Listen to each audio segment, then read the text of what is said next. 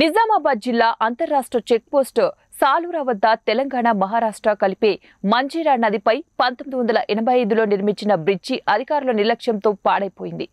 ఓవర్లోడ్లకు తట్టుకోలేక చెడిపోయింది. మామూళ్ళ మత్తులో ఆర్టీఏ అధికారులు భారీ వాహనాలు ఓవర్లోడ్ వాహనాలను అనుమతించడంతో సదరు బ్రిడ్జి కుంగిపోయింది. ఎప్పుడో నిజాం నవాబు నిర్మించిన పాత బ్రిడ్జిని రిపేర్ చేసి వాడకంలో తెచ్చారు. కురుస్తున్న భారీ వర్షాలతో అది కాస్త మునిగిపోయింది. దీంతో వాహనాల రాకపోకలు నిలిచిపోయాయి. ఈ మధ్య నిర్మిస్తున్న కొత్త బ్రిడ్జి పనులు పూర్తి కాకముందే రెండవ బ్రిడ్జిని తొలగించడంతో రాకపోకలకు తీవ్ర అంతరాయం ఏర్పడింది. పక్కనే ఉన్న గ్రామానికి వెళ్ళాలన్నా ఇరవై కిలోమీటర్లు తిరిగి వెళ్ళాల్సి వస్తోందని ప్రజలు తమ ఆవేదన వ్యక్తం చేశారు.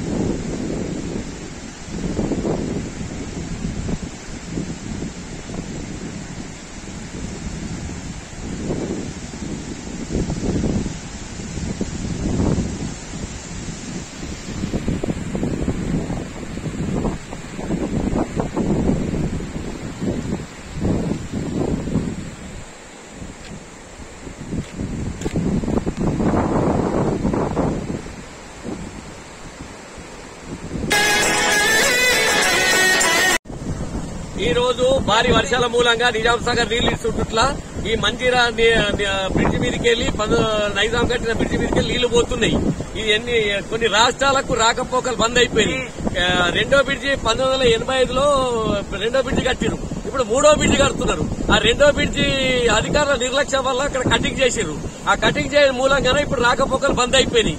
ఎందుకంటే ఒక ఇక్కడ ఒక కిలోమీటర్ ఉన్న దూరం విలేజ్ పోవాలంటే ఇరవై కిలోమీటర్లు లాంగ్లో రాబడుతున్నది. మరి అధికారులు ముందు చర్యల ముందు జాగ్రత్తల ఆలోచించక ఈ రోజు రాకపోకలకు ఎంతో అంతరాయం వాళ్ళే కారణం. ఎందుకంటే అక్కడ మంచిర్లో రెండో బ్రిడ్జి కటింగ్ అయిపోయింది.